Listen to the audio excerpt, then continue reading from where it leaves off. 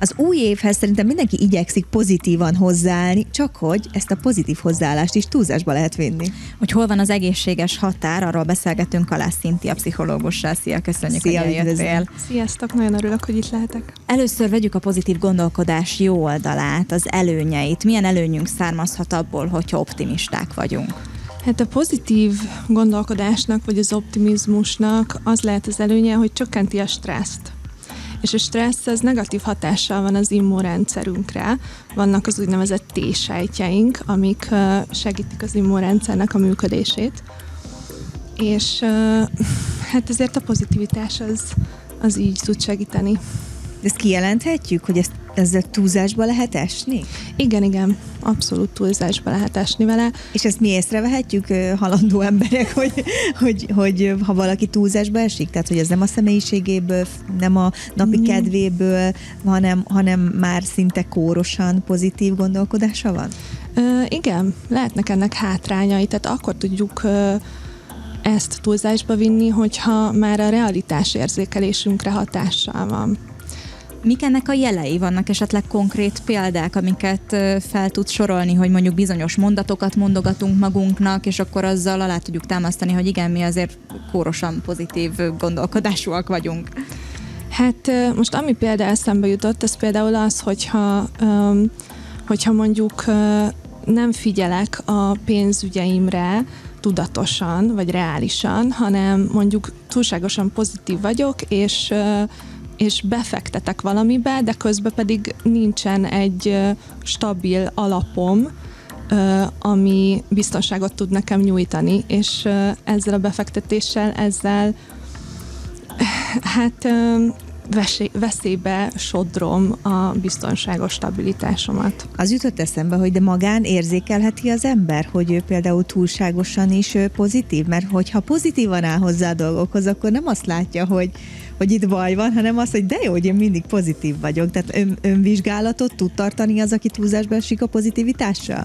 Hát biztos vagyok benne, hogy, hogy rá lehet jönni erre, de, de Hát pont ez a veszély ennek, hogy ugye nem tudom reálisan érzékelni akár a saját valóságomat sem ezzel a pénzes példával inkább azt gondolom, hogy sokkal inkább a, a szerencsénkre appellálhatunk, vagy azt gondoljuk, hogy túlságosan szerencsések vagyunk, és akkor nekünk minden üzletbe jöhet, de hogyha mondjuk tényleg így a lelki dolgokra vezetjük vissza ezt a pozitív, vagy túlzottan pozitív gondolkodást, akkor milyen bajunk származhat belőle, hogyha esetleg nem éljük meg a, a negatív élményeket, a negatív érzéseket, uh-huh. akkor az, az milyen komolyabb lelki gondokat okozhat bennünk? Um, Hát ami először eszembe jut az az, hogy hogy hát például a veszteségeket, azokat nehezebben tudjuk feldolgozni.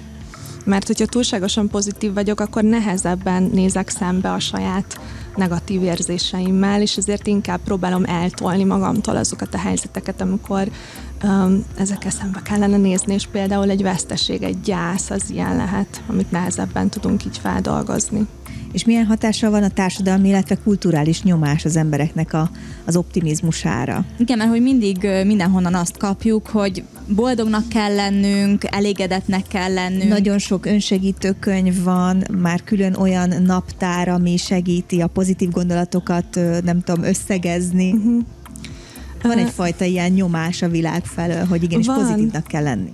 Van, igen, van egy társadalmi nyomás, meg van egy kulturális nyomás is. Szerintem uh, igazából a magyarokra uh, lehet, hogy egy kicsit uh, um, Hát nekünk lehet, hogy egy kicsit nehezebb ez, mert ugye mi a háború alatt nagyon sokat veszítettünk, ezért szerintem van kollektíven egy ilyen um, társadalmi pessimizmusunk, tehát ehhez igazából ennek jót tud tenni az a fajta kicsit túlzott pozitivitás is, amit nyom mondjuk a social média, de egyben káros is lehet.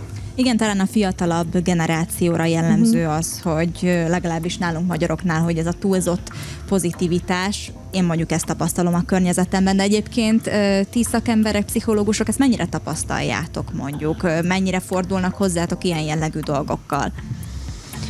Um, Hát azért tapasztaljuk, tehát a social médiában is tapasztaljuk, az üléseken is tapasztaljuk, hogy inkább megoldásfókuszúak lettek az ülések, mint problémafókuszúak. Ugye régen nagyon divatos volt az analitikus pszichológia, és ezt átvette um, úgymond a kognitív pszichológia, ami azzal foglalkozik, hogy hogyan ismerjem fel az érzéseimet, a gondolataimat, és hogyan írjam át őket. Tehát sokkal inkább egy megoldás fókuszú. Stresszkezelésben segíthet az optimizmus, ez a pozitív gondolkodás? Um, igen, ahogy mondtam, a stresszkezelésre hát pozitív hatással van. Ugye um, hogyha pozitívan látjuk a dolgokat, akkor sokkal jobban tudjuk kezelni a stresszt, rugalmasabbak vagyunk, jobban tudjuk kezelni a problémákat hogyha azt érezzük magunkon, vagy a környezetünk azt mondja, hogy mi már túlzottan pozitívak vagyunk, és ez már inkább egy toxikus pozitív hozzáállás, akkor hogyan tudjuk visszarángatni magunkat egy egészséges határig? Mm, hát szerintem, szerintem nagyon ö, érdemes lenne megfigyelni az érzéseinket. Tehát, hogyha jön egy negatív érzés, akkor azt nem el kell hesegetni, hanem szépen le kell ülni, és meg kell figyelni, hogy mi ez az érzés, hol érzem ezt az érzést. Van egy ilyen technika, hogy lehet, hogy a gyomromban érzem, lehet, hogy a mákasomban érzem, lehet, hogy a torkomban lesz egy gombóc, és uh, erre szokták azt javasolni, hogy akkor próbáljuk meg oda venni a levegőt, ahol érzem ezt a rossz érzést. Akkor figyelnünk kell a testünk jelzéseire is Igen. igazából milyen érdekes, nem, hogy a pozitív dolgokat túlzásba lehet vinni, és ennek lesznek bizony jelei, amik negatívak. Uh-huh. Igen, Igen, hát köszönjük szépen a beszélgetést, érdekes dolgokat tudtunk meg tőled. Igen, köszönjük, hogy itt Nincs voltál. Mit. Én nagyon köszönöm, hogy itt láttam.